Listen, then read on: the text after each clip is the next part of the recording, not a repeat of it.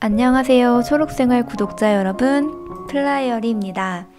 오늘 주제는 식물 에세이입니다.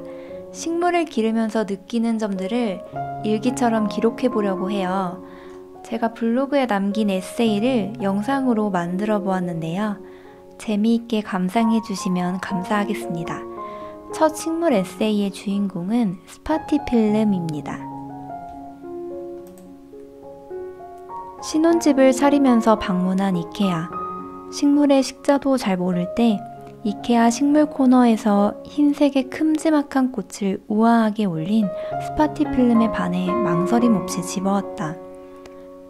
나중에 알게 된 사실이지만 스파티 필름의 꽃은 도깨비 방망이처럼 생긴 가운데 있는 봉이고 겉면에 있는 흰색은 포엽이라고 불리는 잎이라고 한다. 두어 달쯤 됐을까? 꽃은 꽤 오래 갔다. 꽃이 시들자 스파티 필름은 그다지 볼 것 없는 그렇고 그런 화초가 된 듯 했다. 어딜 가나 꼭 판매하는 스파티 필름.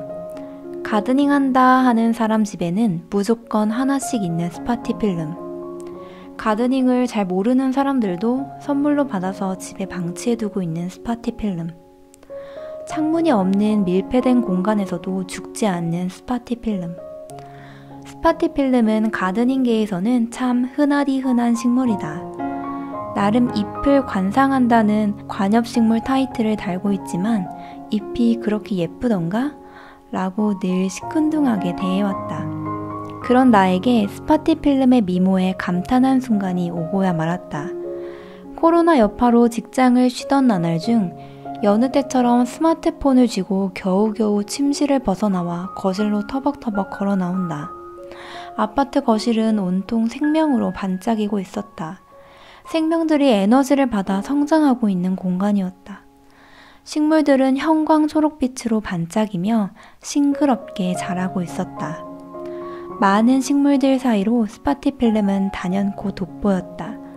유난히 얇고 넓고 길쭉하게 뻗은 잎은 그 어떤 식물보다 화사하게 햇빛을 반사하며 제 몸을 번쩍이고 있었다. 나만 몰랐던 스파티필름의 진가였나 보다. gardening계에서 스파티필름의 인기는 이유 있는 인기였던 것이다. 이와 더불어 그제서야 당연한 명제를 진정으로 깨달았다. 햇빛은 에너지의 근원이구나. 햇빛이 생명을 자라게 하는구나. 낮 12시부터 3시까지 겨울의 햇빛은 남양의 아파트에 깊숙이 뻗어 들어왔다. 오히려 겨울철에 여름보다 태양의 남중고도가 낮아져서 실내 창으로는 햇빛이 더 길게 오래 들어오는 것 같았다.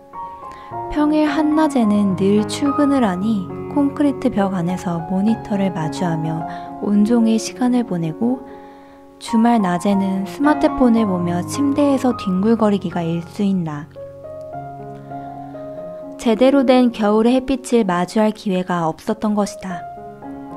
아마 햇빛이 거실 깊숙이 들어와도 그것을 온몸으로 받아내줄 생명이 없는 무생물 플라스틱 제품들 뿐인 거실이라서 그 아름다움을 몰랐을지도 모른다.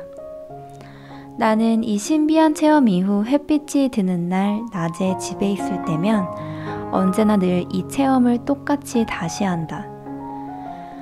늘 같은 체험이지만 그때마다 매번 새롭고 짜릿하게 생명을 느낀다.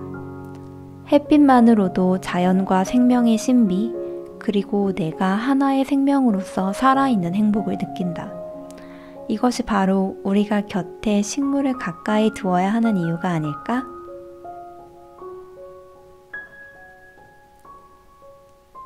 플라이어리의 초록생활 채널에서는 식물과 환경 이야기를 들려드립니다.